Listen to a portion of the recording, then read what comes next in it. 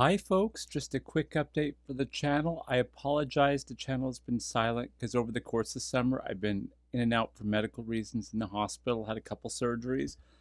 But my last procedure will be later this month in September. Once that's done, we'll be back on track. I'll be back to putting up videos.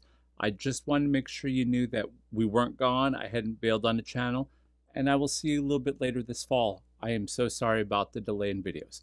Until then, take care.